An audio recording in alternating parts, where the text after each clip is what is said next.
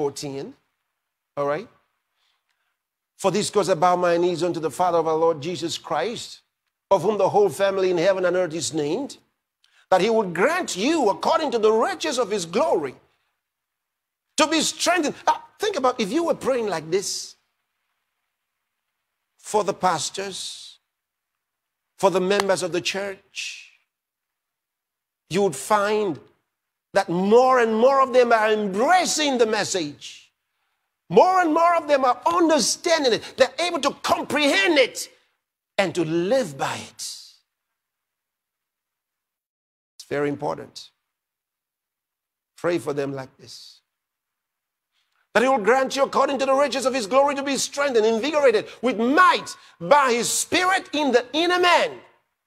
Look at the next verse. That Christ may dwell in your hearts by faith. Oh, hallelujah. That he being rooted and grounded in love may be able, look at that, to comprehend with all the saints what is the breadth and length and depth and height. Here's where I'm going. And to know the love of Christ, which passeth knowledge, surpasses, okay,